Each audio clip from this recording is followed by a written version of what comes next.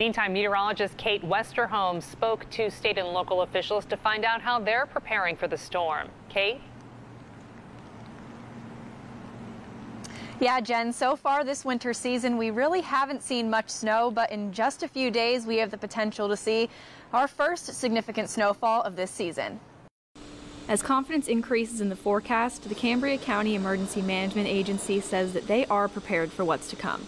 Right now, we're just kind of watching the weather reports and consulting with our, our folks at Pennsylvania Emergency Management and our um, weather staff in Harrisburg. Still a little early to know exactly what's going to happen when, but they're all on standby and at the ready. We're just kind of watching. As confidence increases in the forecast, local and state officials have began planning how to keep roads clear once the snow starts falling. Tomorrow we will have um, a statewide WebEx, and that's you know everybody involved across the state that will just have a conversation for situational awareness. Locally in Cambria County, preparations have already begun as well. Uh, you know, we've obviously been in contact um, with FEMA and the National Weather Service. We like to, uh, you know, keep abreast of, of those um, events before they happen, if we can.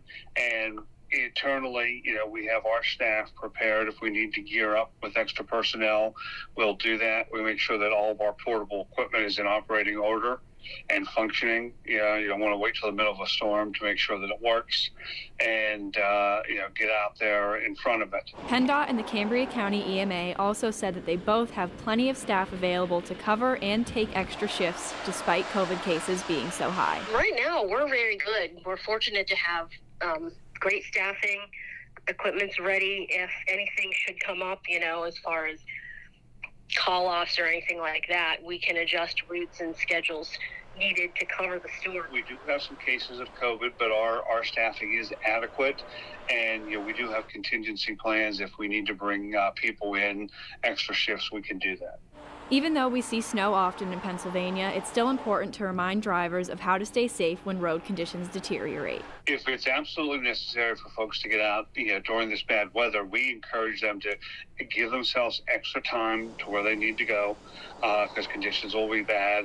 Uh, we make sure and reinforce that everybody, you know, takes precautions, has layered clothing, you know, in the eventuality they, they would get stuck. Uh, we also want to, you know, recommend that they have a great situational awareness. You know, if it's not absolutely necessary for them to go out, uh, we do encourage them to stay in. Uh, but if they do go out, and obviously have communications available with their cell phones, make sure they're fully charged. And if they need to call for assistance, they can do that. Be careful around our plow equipment. You don't try to pass them and if you want to know anything about current weather conditions, go to 511pa.com. Be sure to stay up to date with the latest weather forecasts as we get closer to this weekend. And remember that if you don't absolutely have to be out in the snow, stay at home. Reporting in Johnstown, Cait Westerholm, 6 News.